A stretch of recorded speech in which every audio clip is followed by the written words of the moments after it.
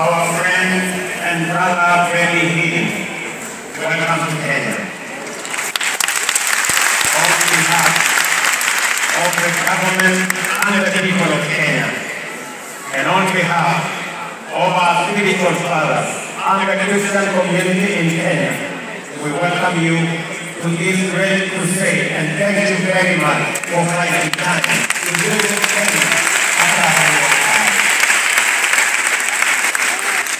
When my wife told me that we had visited you and requested you to come to the Kenya,